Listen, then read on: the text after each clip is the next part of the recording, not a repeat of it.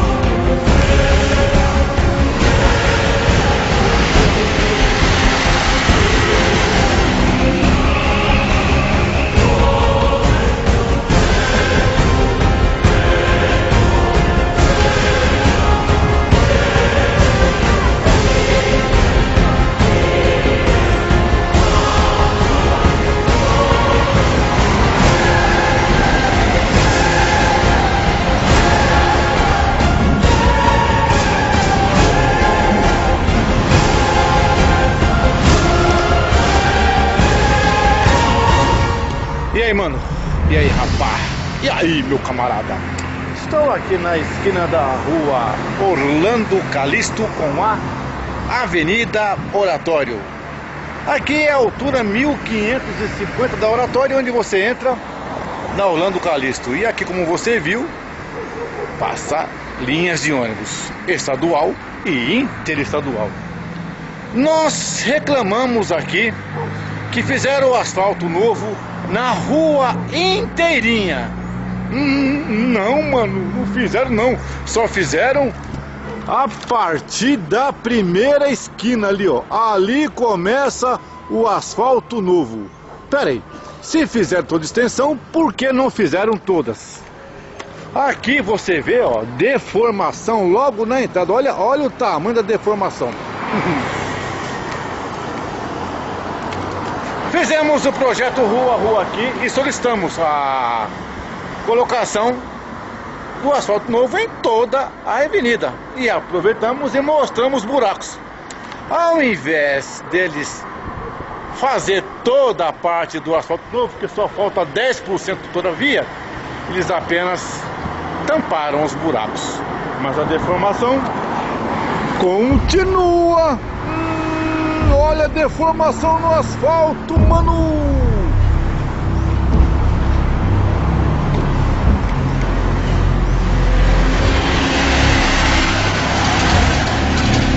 Deformação no asfalto.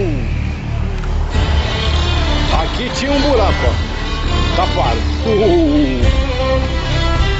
Veja que ali também tinha outro buraco. Mas olha só isso aqui, mano. Olha, rapaz, que coisa feia, hein? Olha só. Hum, mas taparam o buraco. Puxa. Aqui também taparam o buraco. Puxa. Mas é aquilo ali, mano. Puxa. Ah, tá. Ali também taparam o buraco. Em compensação, olha, rapaz. Ó, ali também taparam o buraco. Olha, mano, e a foto da hora. Puta. E ali na frente, olha só.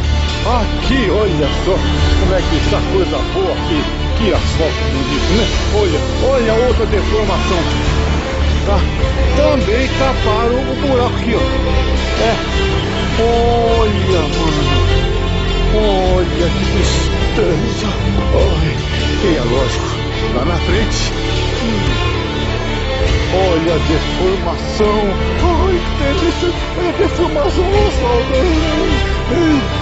Ah, olha, taparam o buraco. Não se esqueça que aqui passa ônibus. Aí. Taparam o buraco, mano. Ai, que maravilha. Hum, o que significa aquilo, mano? Ai, que asfaltinho bom. Hum, é. E tá aí. Orlando Calixto. Aí. E aqui passa ônibus. Passa ônibus. E não colocaram aqui a pasta de pedestre. Tá aí.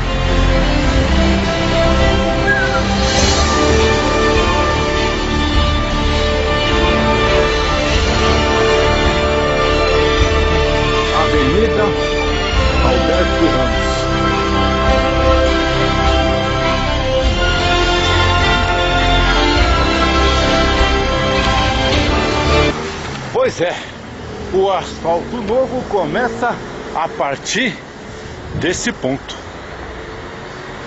Yeah.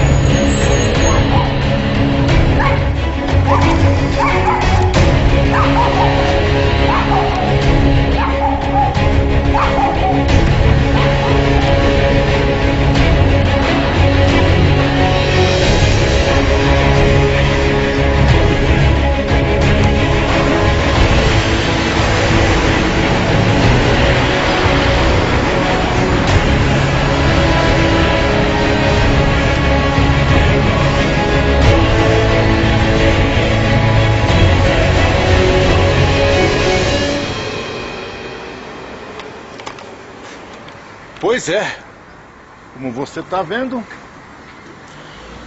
até aqui o asfalto é novo. A partir daqui, cheio de deformação, só taparam o buraco que nós solicitamos. Agora tem um detalhe, olha lá. Aqui tem um bloco de três apartamentos, de três prédios, um condomínio. Se nós colocarmos, que aqui são cada um pelo menos de 15 andares, se nós fazemos uma lição didática, que cada andar tenha quatro apartamentos, então nós teríamos quantos? 70 apartamentos por prédio. 210 nos três prédios. 210 famílias que pagam IPTU, que pagam imposto e que pagam o pato justamente aonde tem a maior arrecadação de IPTU, de dinheiro para a prefeitura, eles não colocaram aí o asfalto.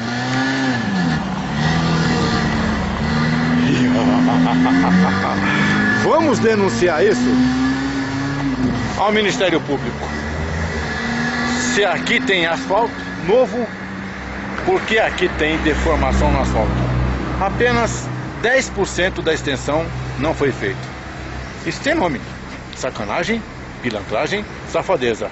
E aquele pessoal daquele prédio, pelo menos 210 famílias estão pagando o pato, segurando o pepino e o abacaxi. E a prefeitura lucrando em cima de três prédios, só com IPTU. Ah! Na minha ótica, quem mora em apartamento não tem nada, porque mora no cubo de tijolo. Se o prédio cair, Desculpa, foi mal. Fato, retrato, registro. Vamos fazer a denúncia ao Ministério Público e solicitar que a subprefeitura e a prefeitura coloquem o asfalto novo aqui. Já acionamos a subprefeitura de Vila Prudente. Já acionamos a prefeitura. Tapa buraco aonde colocou o asfalto novo. Tá de brincadeira. Cada vídeo é uma solicitação. Cada solicitação é um encaminhamento. Cada encaminhamento é um ofício disposto no blog Jardim Tietê News. Vá lá e verifique. Nós não brincamos, nós mostramos, levamos encaminhamento e promovemos cidadania. Cidadão, entenda de uma vez por todas: se você não fizer a sua parte,